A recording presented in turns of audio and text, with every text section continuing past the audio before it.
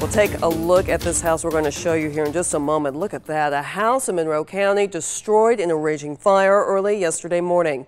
When firefighters responded, this is what they saw. They say the entire lower level of the house had fallen into the basement, so firefighters couldn't get in safely.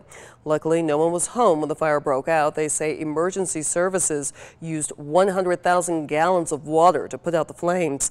This is the eighth structure fire in Monroe County in the last 30 days alone alone.